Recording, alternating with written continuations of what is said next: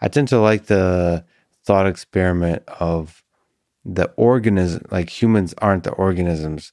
I like the notion of like uh, Richard Dawkins and memes that Hmm.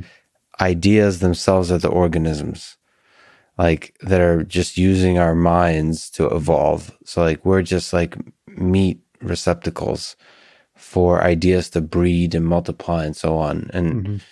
and maybe those are the aliens. Yeah.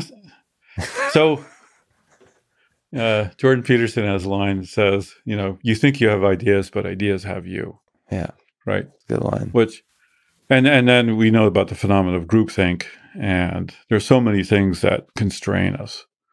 But I think you can examine all that and not be completely owned by the ideas and completely sucked into groupthink.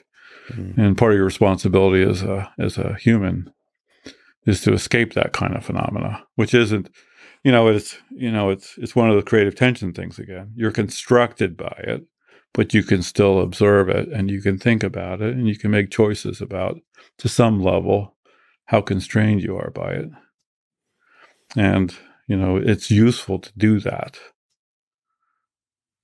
And but but there at the same time and it could be by doing that that you know the the the group and society you're you're part of becomes collectively even more interesting. Mhm.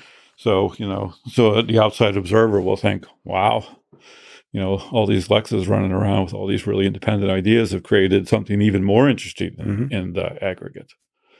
So, so I so I don't know. I'm those are lenses to look at the situation But that all- give you some inspiration, but I don't think they're constraints Right. you know